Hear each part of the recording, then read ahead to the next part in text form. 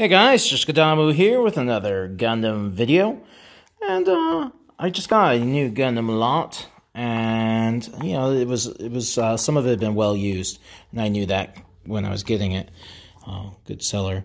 Anyways, I was looking at this BuCUE and uh it's just kind of yeah, my customizer, so used stuff is super handy.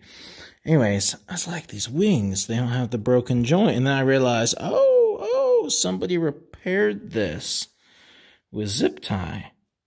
And that's actually kind of smart. And I thought I would show that off because I just, I had an issue where the, the, the tabs would break and it wouldn't hold your wing in very well or hold it up. And I think the zip ties, uh-oh.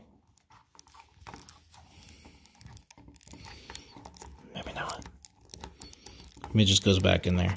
I don't know. I think the zip ties work.